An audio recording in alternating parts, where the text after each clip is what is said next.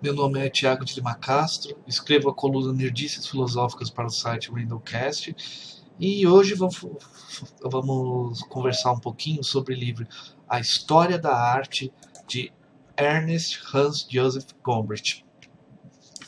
Bom, esse livro foi publicado originalmente nos anos 50 em Londres e tem sido reeditado constantemente. Por quê?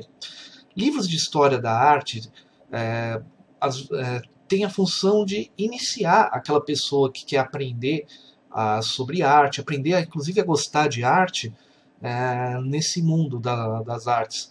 E o Gombrich ele tem uma linguagem muito interessante pelo seguinte: ele trata a obra escrita historicamente, mas ele evita de usar termos técnicos muito complexos não é um livro que você vai necessitar estar com um dicionário de pintura ou de arquitetura do lado para lê-lo. Muito pelo contrário, ele tem um texto voltado a adolescentes e ao ensino médio, mas que muito mais do que somente informar sobre artistas, sobre movimentos artísticos, ele busca fazer o quê? Ele busca educar os seus sentidos, educar a sua percepção para apreciar a arte. Muitas vezes nós pensamos que a arte basta é, eu olhar e daí eu tenho o meu gosto pessoal.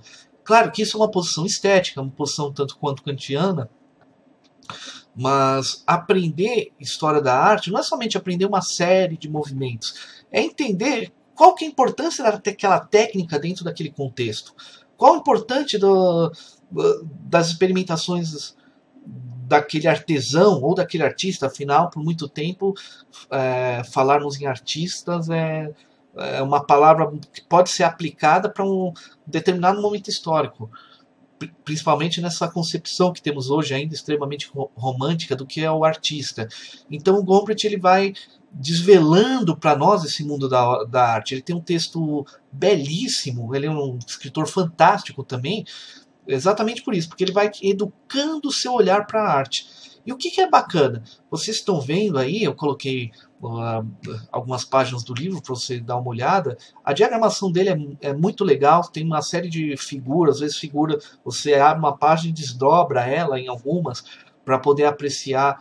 Ela vale muito a pena. Para quem tem interesse em arte, para quem gosta de apreciar a arte, é uma, é uma leitura fantástica, principalmente por isso por, por causa da linguagem com qual ele escreve. Tem, muito, tem muitos livros dentro dessa temática, mas ele é um dos mais indicados por isso, porque ele não somente informa, mas educa os seus sentidos a partir da sua maneira de escrita.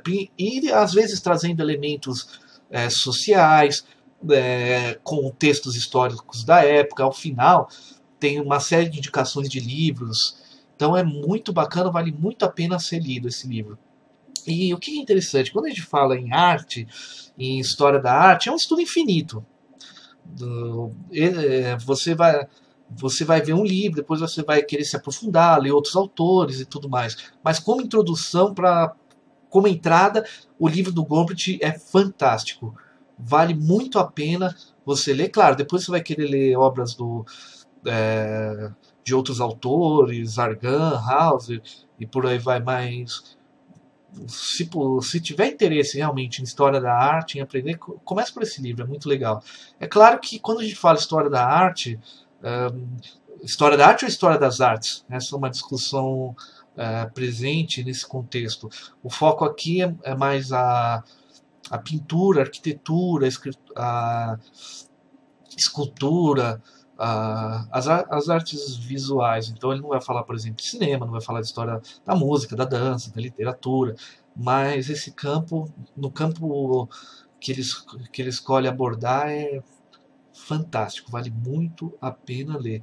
Não é maçante também, às, às vezes a gente fala, um livro de arte.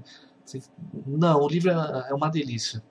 É uma, a leitura do livro é fantástica vale muito a pena. Ele tem uma série de outros ensaios também, né? Tem colocar na, na descrição uma referência. Ele escreveu é, uma série de textos mais pesados sobre arte, é, como arte ilusão e outras coisas. Mas esse texto é muito legal. A escrita é fantástica, a profundidade é grande e você vai aprendendo a ver a arte, vai educando o seu olhar para a arte, que é algo fantástico.